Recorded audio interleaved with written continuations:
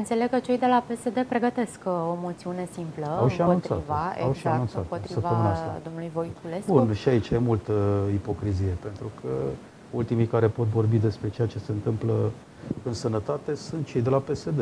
Eu nu să uit foarte curând cele 8 spitale regionale promise de Dragnea făcute doar pe hârtie, ceea ce s-a întâmplat, din păcate, la Neamț, la baronul favorit al lui Dragnea. Deci PSD-ul este ultimul care poate vorbi despre o adevărată reformă în sănătate. Dar ei, credeți... ei pot să ne spună, de exemplu, de ce Pintea, doamna Pintea a ajuns în necazuri cu luare de mită, de ce domnul Bodog s-a apărat în Parlament cu imunitatea parlamentară de acuzele uh, procurorilor statului și multe altele. Adică asta e chiar parodie sau sunt un psd vorbind de reforma din sănătate. Dar credeți că vor fi uh, liberali care vor vota această moțiune? Liberali nemulțumiți, de altfel, uh, nu, și ei de cred. activitatea domnului Nu cred. Uh, la urmă urmei suntem parteneri într-o coaliție și uh, avem ca principală obligație susținerea uh, guvernului prin această majoritate parlamentară. Dar uh, va fi un semnal pentru domnul Voiculescu dacă înțelege că dânsul nu poate fi ceea ce uh, transmite cumva superior Parlamentului.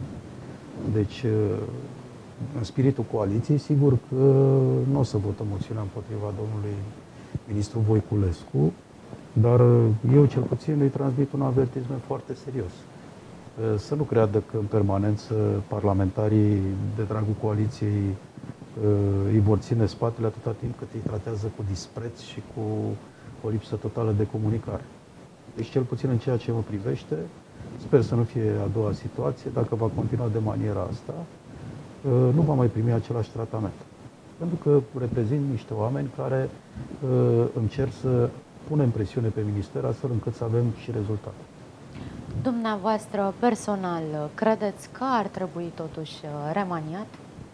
Schimbat nu. din funcție? Vorbeați mai devreme de activitatea domnului Tătaru da, nu, și nu, am e, văzut că vă doriți revenirea dânsului la da, Ministerul Sănătății. Nu, nu contează, deci chiar nu are nicio legătură. Acum, Ministrul Sănătății, domnul Voiculescu, e prematur să îi cere manierea din punctul meu de vedere după două luni de activitate. Uh, el trebuie încurajat, numai că această comunicare, vă repet, trebuie să fie cu duș întors. Adică e, dacă e doar într-o parte și din partea cealaltă nu există niciun feedback, atunci că cu siguranță lucrurile vor intra într-un uh, blocaj uh, total.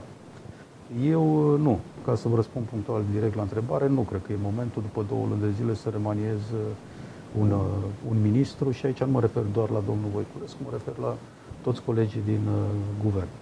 Uh, o minimă perioadă de evaluare vine după cam la două, trei luni de zile după adoptarea bugetului, vedem cum se mișcă fiecare și atunci asigur că putem vorbi de